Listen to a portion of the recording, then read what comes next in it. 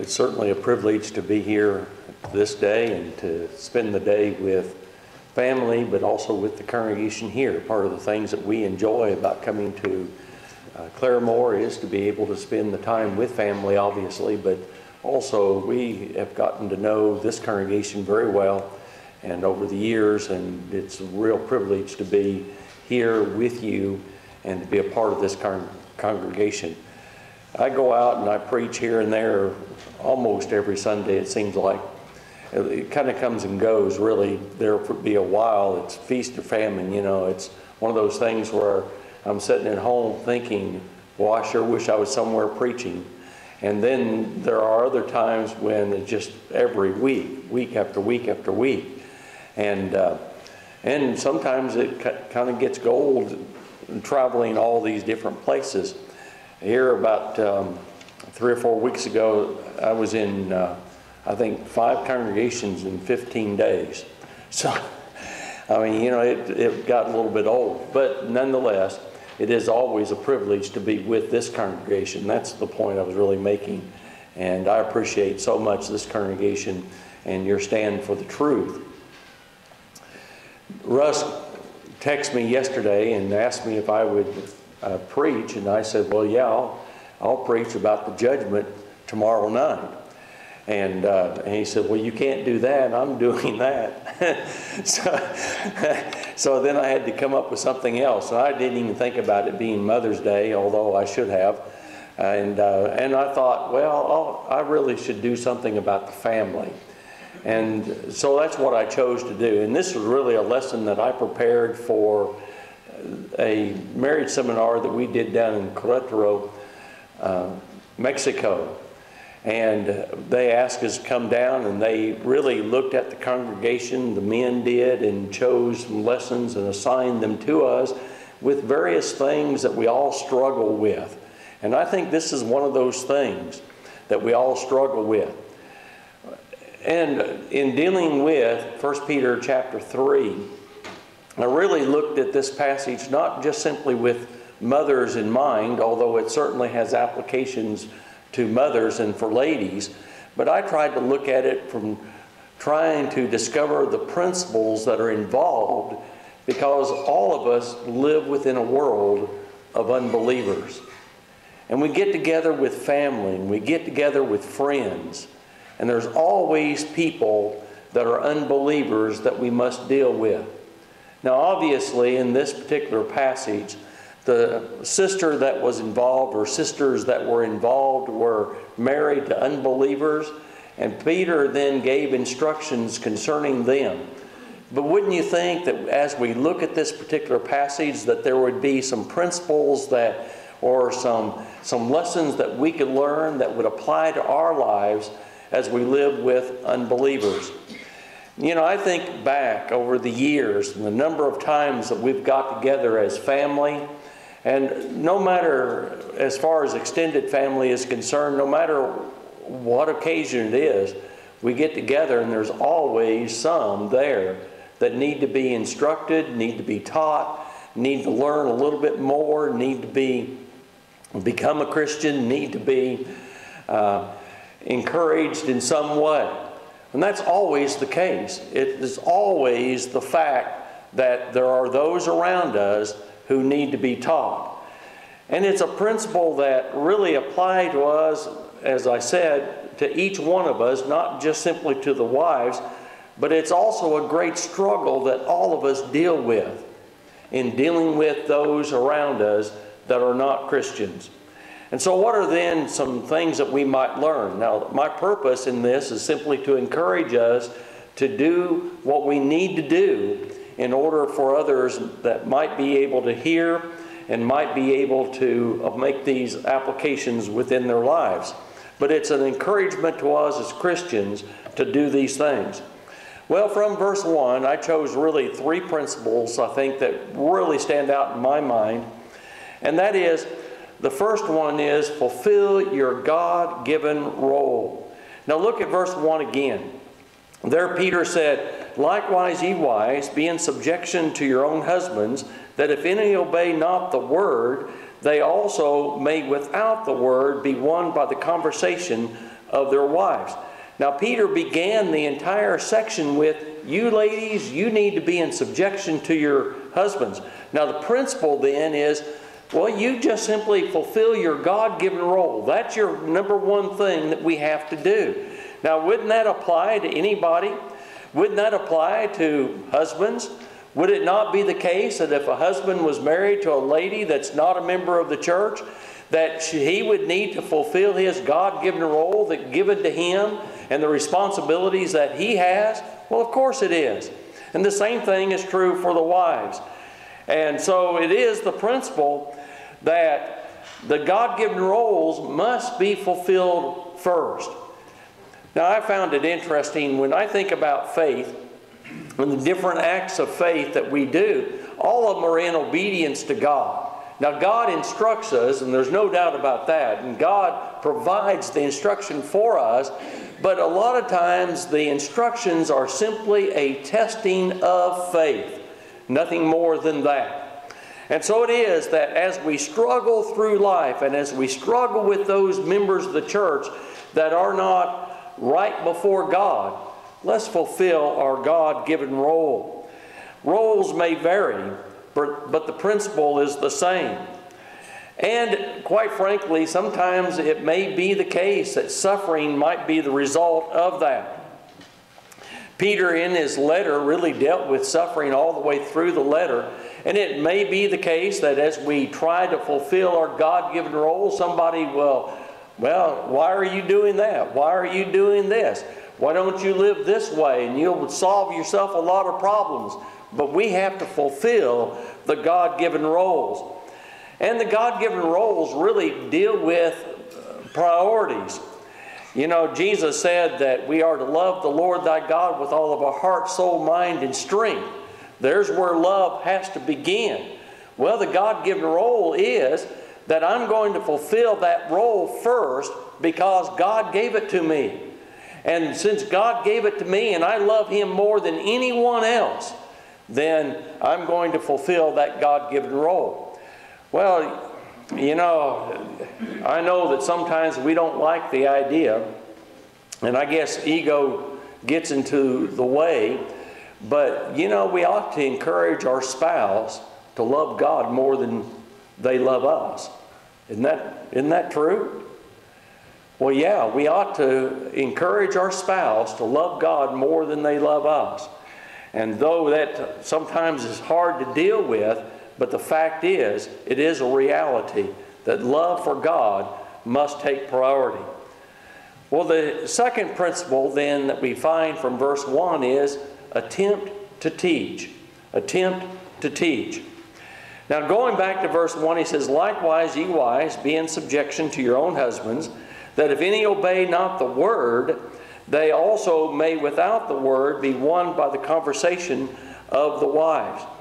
Now, the word, uh, the, and I put that in quote, the word, it has to be used in two different ways in this particular passage. I don't know how you could understand the passage without understanding that particular principle, that it has to be understood in two different ways. A person cannot obey the gospel without the Word of God. It's impossible that a person could obey without the Word. And so the first time that he uses the word there in this particular passage has to be a reference to the New Testament, the gospel of Jesus Christ, because without it, there is no conversion whatsoever. But the second time the word or the words, the word is used, has to be a reference to the word being taught by the wife. She has attempted to teach him. And a very important aspect of any really relationship that we then attempt to teach the Word. That without the Word, he may be won by the conversation of the wife. In other words, then, it is the attempt to teach and to teach in a public way. Or not a public way, but to teach in a private way to, uh, to that spouse. Well, teaching is absolutely a part of the God-given role of a of a uh, of a Christian. And you know, different ones have talked about these various things, and And I always think about uh, different preachers that go to different places, but they will always talk about their responsibility is to teach. It isn't to police, it isn't to, to necessarily agree with everybody, but their responsibility is to teach. Well, change comes by gospel teaching. Without gospel teaching, there is no change. It takes place by gospel teaching. And, you know, Christianity, and I'm talking about the type we're talking about within the New Testament, is a taught religion. It's not inherited. It's not passed from generation to generation. And just because my parents were Christians or not Christians, it doesn't make any difference. It is not an inherited religion. It's not like Judaism. It isn't like Israel of old. You could be a, a, a member of or a citizen of the nation of Israel and never know who God was. And quite frankly, there were numerous times when that was the case. But the fact is, they inherited their religion, they inherited their nationality. That's not true, and it really isn't true with them as far as true Israel was concerned. But it's not true with Christianity. Christianity is a top religion. And if we're not being taught, and if we're not teaching, we're not really fulfilling our responsibilities. Now, I think there is a difference, though, that sometimes some folks, they teach by demands, other folks teach by reason. And there's a difference between the two. You know, you can tell everybody in the world, well, the Bible says that you have to be baptized. Okay, no problem there. It is the case, and our brother was talking about that earlier. It is the case that we ought to tell everybody they ought to be baptized.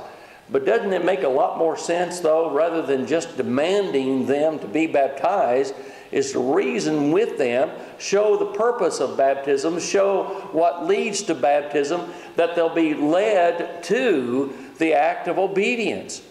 And then build their faith in the process of it so they'll have enough faith to act upon their faith and be baptized, immersed into Christ, and raised up to walk in newness of life. Well, the same thing is true with a spouse. The same thing is true with a family member that we're concerned with. We then lead them to obedience to the gospel. And so it is that we attempt to teach by reasoning as, the, uh, as what really is directed by the scriptures. But then a third principle is that if teaching fails, then live godly. A godly example is always appropriate. And as one gospel preacher wrote in his commentary, sometimes silent example is better than vehement debate. and I thought, well, that's a pretty good way of thinking about it, you know, that, that we can get into all the arguments that we want. But, you know, sometimes it's just better just to be the godly example that we ought to be. And that silent, godly example will lead, uh, hopefully, to the salvation of our spouse's soul. I always think about this lady I knew years and years ago. I knew her and I knew her daughters, and I knew her, or we knew her and her daughters and her grandchildren. We didn't know the grandfather, but the, one of the grandsons told me about this. And the grandfather, most of his life, he was not a member of the church. But the grandmother, she came to services week after week. When the church doors were open, the church building doors were open, she was there. She was an example. And because of her example, she was able to convert most of her family. And as a result of her conversion of most of her family, her grandchildren, most of them were members of the church as well. But I remember the grandson telling us one day about the grandfather toward the end of his life. He got to worried about his, his wife and going to services, so he would bring her to services, which was about 30 miles away, and uh, they lived out on a farm. He would bring her to services but he wouldn't come in. He'd just drop her off and go do something else and come back. Well, he got kind of tired of that about a year into it, maybe two years. So then he would wait till services started and he would come in and sit down at the back row. Well, as time progressed, he started sitting with her toward the front. And as time progressed, I remember the grandson telling me, he said, I turned around to granddad and I said, I'm ready to become a Christian. What about you? And the old man was baptized into Christ. But you know where it all went back to? Well, it went back to his wife who taught, tried to teach by word. He was obstinate, he would not listen, but she continued to teach by example. And her example exemplified what she taught by word. That's the principle that's involved in this passage. And it's true whether it's a woman or whether it's a man. It's true whether we are nephews or nieces or whether we're uncles or aunts. It makes no difference. It's true if we're going to teach our family to be members of the Lord's church. A third or a fourth principle that, that we find within this passage is the one I took, the next one I took is from verse 4. And verse 4 says, But let, the, let it be the hidden man of the heart, and that which is not corruptible, even the ornament of a meek and quiet spirit, which is in the sight of God of great price. Now, in looking at this particular passage, of course, he contrasted two sides. He contrasted the physical appearance of a, of a lady to the spiritual appearance of that lady.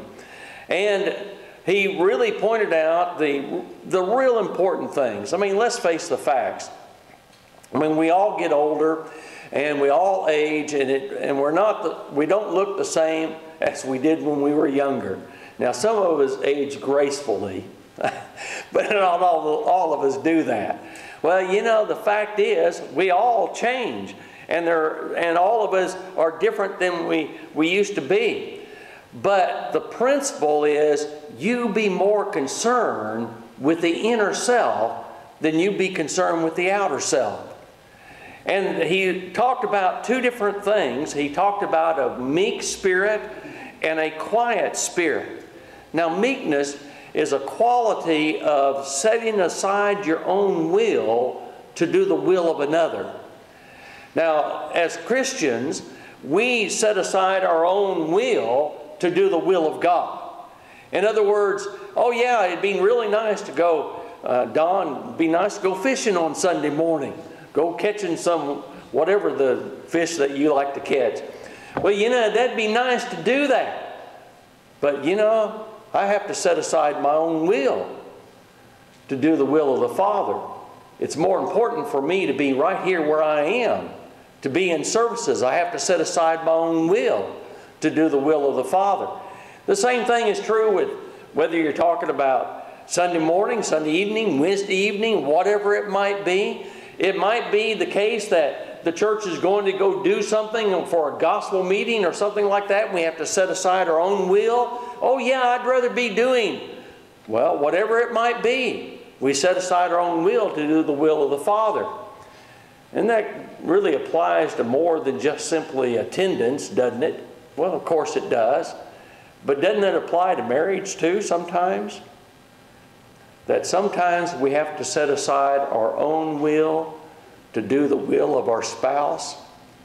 Mm-hmm. Yeah, it is often the case that we have to do that.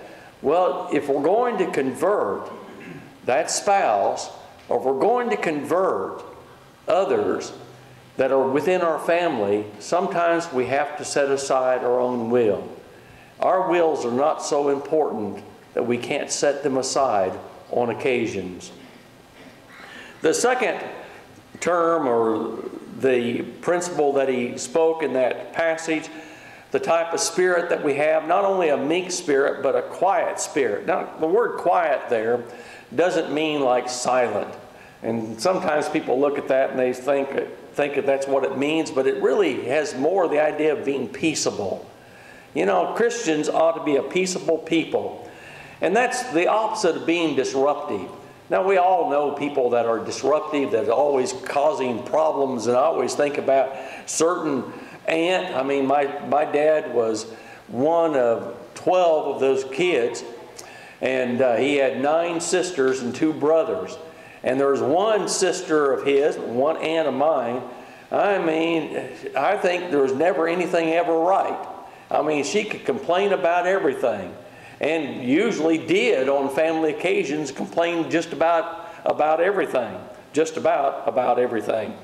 Was that's the opposite of this. A quiet spirit is a peaceful spirit. It doesn't always mean that we're going to agree, but whether we agree or not, we're going to be peaceable. That's the difference there. And we have to have that peaceable spirit. But certainly it is the case for wives, and that's specifically the application that he made. But isn't it also true for the rest of us as well? That we have to be peaceable? And sometimes that requires a lot of different ways of thinking about things but we have to be peaceable in that. It's interesting, the, the other time that that particular word is used is over in 1 Timothy chapter 2 and verse 2. And uh, this is an exhortation concerning prayer. He said that we are to pray for kings and for all that are in authority, that we may lead a quiet and peaceable life in all godliness and honesty. And that's, the, that's one of the same words that we might lead a peaceable and quiet life. And most commentaries agree and, and dictionaries agree that it's the idea of having peace on the outside, but having peace on the inside as well. And so we pray for our government. And you think about Paul when he prayed for Rome, or Timothy in this exhortation as he prayed for Rome. They lived under the Roman Empire, and yet they prayed for Rome. Not for Rome to continue to exist, not for Rome to, to, to be able to keep their soldiers from harm or whatever it might be, but he prayed for that nation in order that the Christians could lead a peaceable and quiet life, that they could be a peaceable people and deal with others. Well, then notice at the end of, verse 4, there's a statement that he made. He said, concerning the God of great price. Well, it's, it's great price is not an adjective that modifies God, but is act, actually an adjective that modifies the spirit of meekness and of the spirit of quietness, the, the spirit of peace. You see, the lady that has that quiet spirit, that lady that has that meek spirit, she's like Sarah. And she's of great value, and that's what the word actually means of tremendous value to God. Well, is that not true with anybody that, that has that kind of a spirit?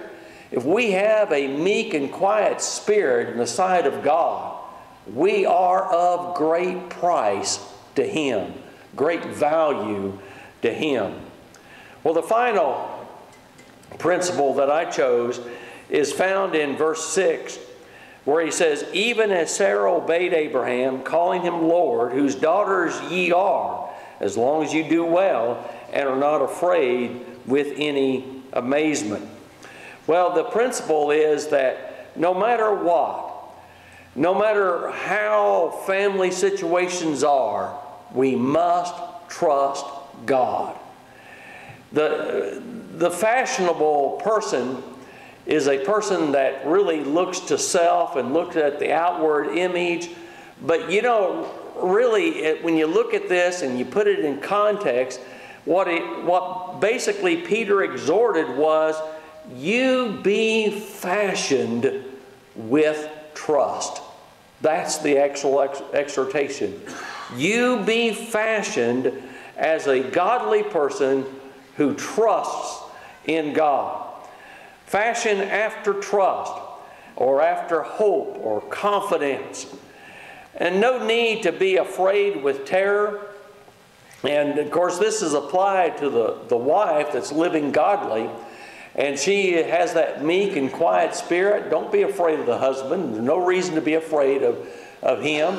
You just continue living and you trust in God that, and live the way that God wants you to live. That's the, the idea. Well, isn't that true with all of us?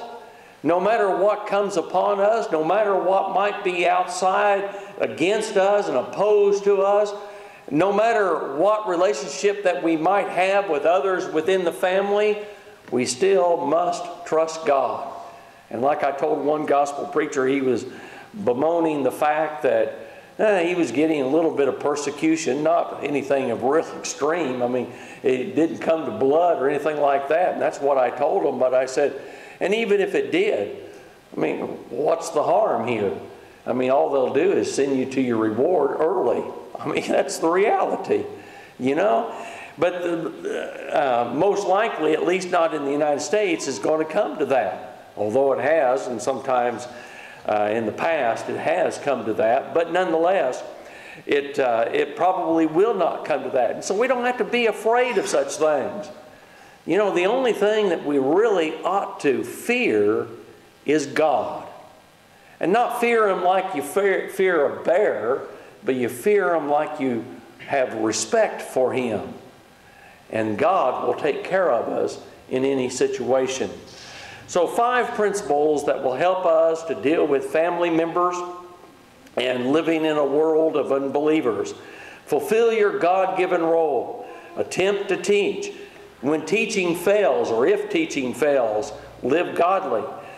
And see and remember that God sees godly, the godly, the meek and quiet spirit, as of great value.